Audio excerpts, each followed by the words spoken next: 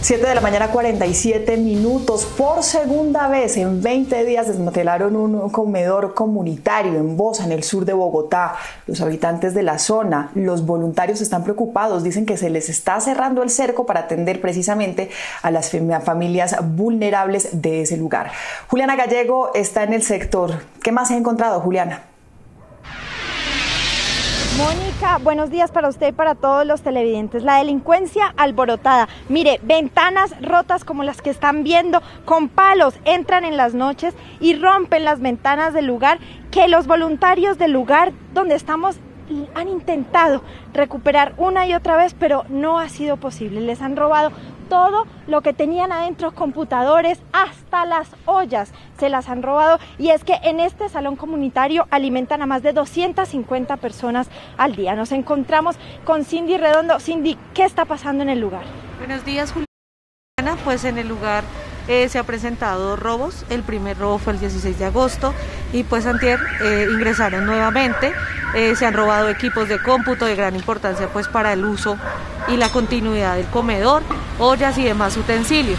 Además, se han robado termómetros que en este momento son fundamentales para garantizar la bioseguridad del lugar. Cindy, ¿qué les dice la policía? La policía nos dice que va a tomar medidas respecto a una cámara que se encuentra ubicada en el árbol, eh, pero por, las ramas pues no tiene visibilidad en el momento. Realmente el tema del termómetro es algo que necesitamos por el tema de, de la pandemia, entonces sí requerimos que tomen medidas la policía para así garantizar la continuidad del comedor. De igual manera, pues eh, queremos pedir a la comunidad del sector que pues cuidemos el comedor. Entran y les dejan carpetas en el piso, todo tirado, se encuentran que no tienen ni siquiera las ollas, como lo decíamos. Eh, ¿Qué va a pasar si otra vez roban? ¿Van a tener que cerrar? Si siguen los continuos robos, pues realmente no vamos a tener con qué trabajar.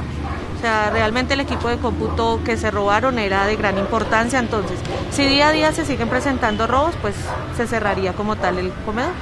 Bueno, pues esta es la información desde acá, desde el sur de Bogotá. Además, nos manifiestan que no es el primer salón social que han robado y que realmente son muchos otros en la ciudad en los que ha sucedido lo mismo. Delincuencia alborotada en este momento de pandemia donde alimentan más de 250 personas, pero además donde es un valor fundamental, un servicio fundamental para la comunidad en este momento tan duro que estamos viviendo. Desde el sur de Bogotá, Juliana Gallego, Noticias Caracol.